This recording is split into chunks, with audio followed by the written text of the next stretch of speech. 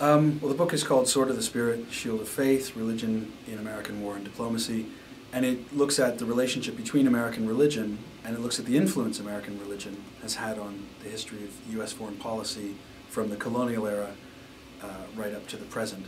And I see this relationship as one that's very deep and very profound, and that at key moments in American history has had a, um, an important, perhaps not a decisive, but a very important role in shaping uh, the direction of U.S. foreign policy.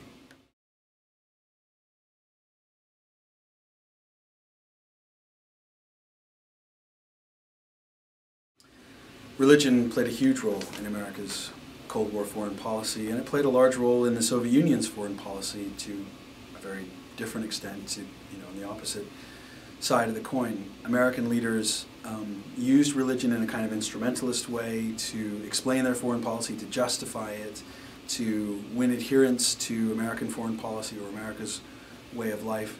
But as far as I could determine, and it's almost impossible to determine these things uh, with any certainty, 100%, but as far as I can tell, American leaders, for the most part, believed in what they were saying. They believed in this message, certainly in the early Cold War, in the Truman and Eisenhower administrations.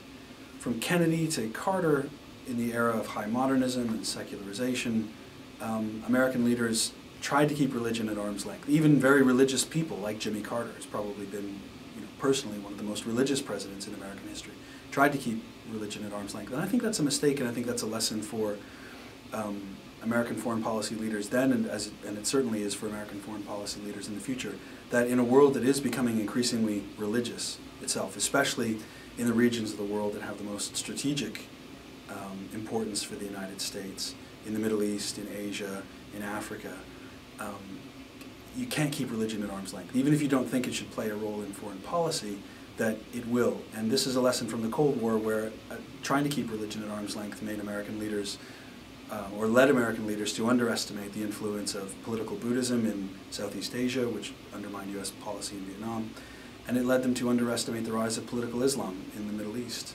Um, and it, it, it, led them to underestimate um, the Shiite revolutionaries in Iran, uh, and, and, and they were, U.S. leaders were completely caught by surprise. So in a, in a world that since 1979 keeps getting more religious, um, trying to keep religion at arm's length, uh, is a, I would say, is a real mistake. No matter what an individual U.S. foreign policymaker's personally, personal religious views are, religion has to be taken into an account, and I think that's a clear lesson from the Cold War.